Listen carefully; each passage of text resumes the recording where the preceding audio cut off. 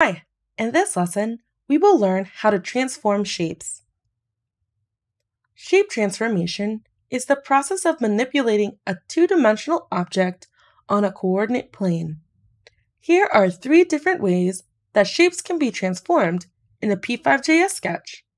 Translation, rotation, and dilation, or scale. A translation is the act of moving a figure from its original position on the coordinate plane without changing its shape, size, and orientation. To translate a shape in P5JS, we use the translate function. The origin 00 of a P5JS canvas is located at the top left-hand corner of the canvas. In this example, a 100 pixel square can be drawn at the origin by setting the x and y position of the square to 0, 0. The translate function changes the origin point of the coordinate system, meaning the x coordinate and y coordinate of the origin of the plane will be shifted by the amount of pixels passed to the translate function. For example, if translate 100 100 is called before drawing the square, the origin will shift 100 pixels to the right and 100 pixels down before drawing the square, making the origin, 0, 0, now located at 100, 100. Therefore, when a square is drawn with x and y coordinates 0, 0, it will be drawn 0 pixels to the right and 0 pixels down from the origin, which is now 100, 100. But what happens if we translate multiple times? If the translate function is called more than once, the origin will be shifted again. For example, if translate 100 100 is called after translate 100 100, it will shift the origin 100 pixels to the right and 100 pixels down from the shifted origin. Therefore, the new origin will be located at 200 200.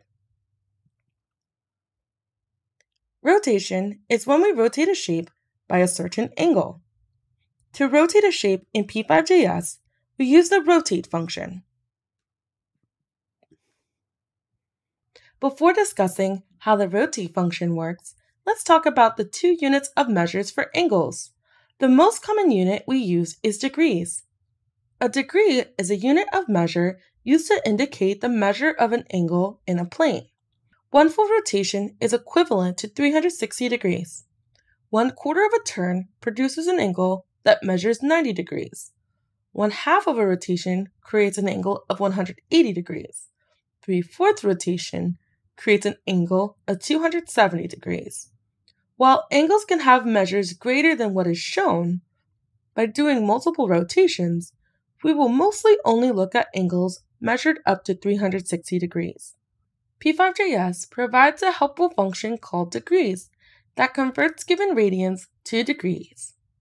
But what are radians? Angles can also be expressed in radians. Radians are used in many areas of mathematics, such as trigonometry, calculus, and more. A full rotation expressed in radians is 2 pi, similar to the circumference of a circle. One quarter of a turn produces an angle that is half pi. One half of a rotation creates an angle of pi. Three fourths rotation creates an angle of 3 pi over 2. While angles can have measures greater than what is shown by doing multiple rotations, we will mostly only look at angles measured up to 2 pi. 1 radian is about 57.2958 degrees. Thankfully, P5JS also provides a helpful function called radians that converts given degrees to radians for us. The rotate function rotates a shape by the amount specified. By default, the angle mode is in radians. So if we want to rotate by 45 degrees, we would first convert the degrees to radians by calling radians 45, and then passing that to the rotate function. This would result in the square rotating by 45 degrees in the clockwise direction. To rotate in the opposite direction, you could provide negated degrees. In other words, to rotate 45 degrees in the counterclockwise direction, we would use negative 45 degrees. Notice in both examples that the rotation occurs around the origin of the canvas. To rotate about the center of a shape, the origin should be shifted to be located at the center of the shape. The center of the square is located at 75, 75. Using the translate function, we can shift the origin to the center of the square and then rotate the square. The transformation that causes 2D shapes to stretch and shrink vertically or horizontally by a constant factor is called scale. To change the scale of the size of a shape in P5JS, we use the scale function. Let's transform the scale of the square that is currently 100 pixels wide and tall. The first argument passed to the scale function scales a shape by a given percentage expressed as a decimal. For example, if you want to expand the shape by 100%, we call scale 1.0. Nothing appears changed here because scaling at 100% is the same as the original. To double the size of the square, we call the scale function and pass 2.0 as an argument. This scales the square by 200%. To shrink the shape by half or scale by 50%, we write scale 0.5 before the shape. Shape transformations create very interesting animations. Let's try one. Using variables, we can animate the transformation of a shape.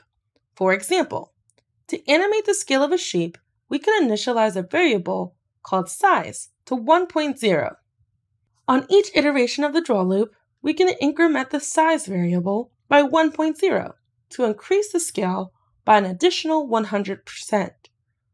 On each loop, it grows by another 100%, again and again, and so on.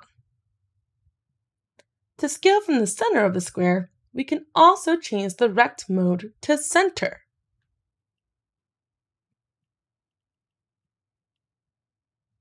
Let's head over to the editor to practice creating these transformations.